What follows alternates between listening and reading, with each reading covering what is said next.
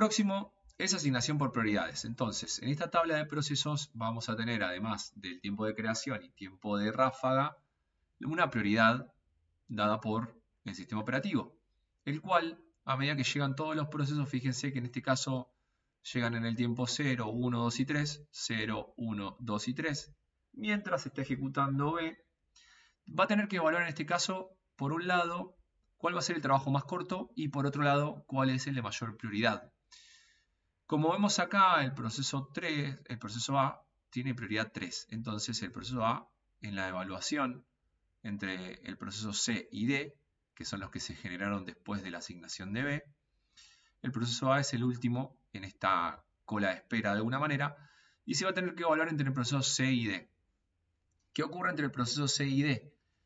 Que los dos tienen prioridad 2, o sea, tienen la misma prioridad. Entonces, es el primer parámetro a evaluar, la primera variable a evaluar, digamos, en la cual después de tener este valor de, evaluación va a tener que evaluar básicamente el tiempo de ejecución.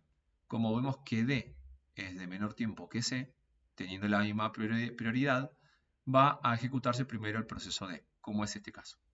¿Sí? Aunque fue el último en llegar a esta cola de espera, según el algoritmo por asignación de prioridades, va a ejecutar primero o, o asignar primero el proceso D, luego el proceso C, como vemos acá, y por último el proceso A, que tenía la prioridad más, eh, digamos, el proceso de menor prioridad en esta, en esta cola de espera, ¿no?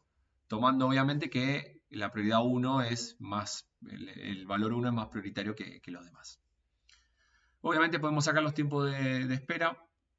Fíjense que acá nos da un tiempo medio de espera alto y tiempo medio de respuesta también en relación a los otros algoritmos que veíamos y nos dio también una penalización bastante alta, en este caso, para eh, todo el sistema.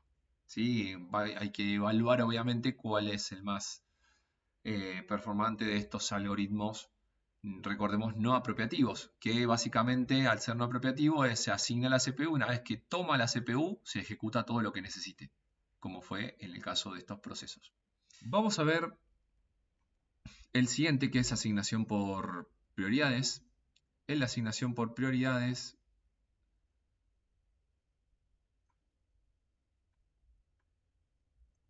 vemos que básicamente el primero que llega va a ser en este caso el proceso B, sin ningún inconveniente. Recordemos que en la asignación por prioridades el sistema operativo le asigna prioridades a los procesos para poder evaluar, además de cuál sería el proceso más corto para poder ejecutar, por ejemplo, tomando el, algoritmo anterior, eh, cuál es el más, eh, el de más prioritario para tener que ejecutarlo y asignarlo a la CPU. En el caso del proceso B vemos que sigue igual, es el primero en llegar, no tiene ningún inconveniente ni tiene que luchar o, debatirse cuál va, a ser, cuál va a utilizar la CPU primero, sino que llega y lo utiliza y lo mismo de antes. Llega el proceso y llega el proceso y llega ese proceso A.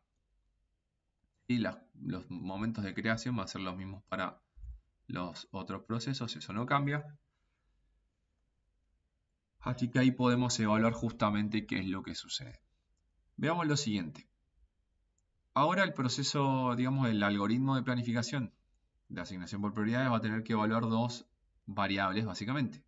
Primero, podría evaluar justamente cuál es la prioridad de los procesos en este caso. Vemos que a la hora de la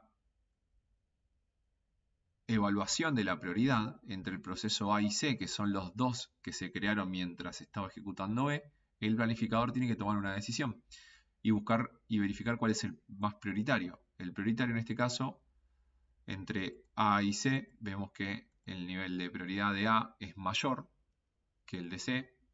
Por ende, A se va, digamos, a, ejecutar primero. ¿sí? Al lograr ejecutarse primero, por ese nivel de prioridad, va a poder asignarse la CPU. ¿Qué hubiese ocurrido si el proceso C también tenía una prioridad 2 básicamente lo que se iba a evaluar después de eso, como tiene la misma prioridad, bueno, ¿cuál de los dos procesos es el de menor tiempo o el más corto para poder ejecutarse? ¿sí? Como vimos en el anterior, el más corto en este caso va a ser el A. Entonces, si hubiesen estado igual en las prioridades, el más corto es el que se hubiese ejecutado en ese caso. Bien, como vemos y como estamos ya verificando, básicamente nos va a quedar igual el, nos va a quedar igual el, el, diagrama de Gantt, ya que va a tomar primero el proceso A porque tiene mayor prioridad y luego el proceso C con menor prioridad ¿sí? y además con mayor cantidad de intervalos de CPU para ejecutarse. Recuerden que como es no apropiativo, a la hora de ejecutarse no se interrumpe la, ejecución, valga la redundancia, de los procesos que están en CPU. Entonces vemos que básicamente en este caso va a ser el mismo va a ser el mismo el mismo diagrama, ¿no? Vamos a colocar, digamos, ahí y es el mismo diagrama de Gantt porque no tiene ningún, ningún inconveniente, ya que después llega el proceso, después de la evaluación y la decisión entre estos dos para saber cuál se ejecuta primero, llega el proceso D y luego el proceso E, sin ningún inconveniente. Fíjense que como es igual, básicamente nos va a quedar la misma, lo mismo que el anterior, y 1, un intervalo de tiempo de espera, 0 para B, 5 para C, 2 para D y 1 para ese